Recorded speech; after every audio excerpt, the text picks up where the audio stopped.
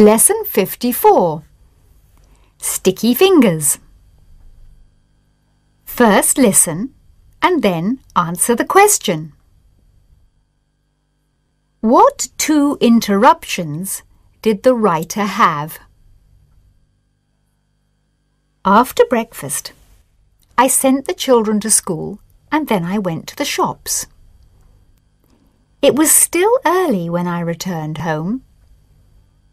The children were at school, my husband was at work, and the house was quiet. So I decided to make some meat pies.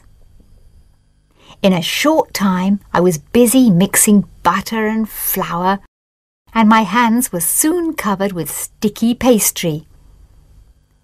At exactly that moment the telephone rang.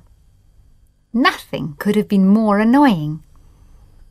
I picked up the receiver between two sticky fingers and was dismayed when I recognized the voice of Helen Bates.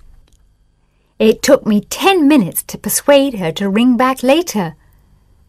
At last I hung up the receiver. What a mess! There was pastry on my fingers, on the telephone, and on the doorknobs. I had no sooner got back to the kitchen then the doorbell rang, loud enough to wake the dead. This time it was the postman, and he wanted me to sign for a registered letter.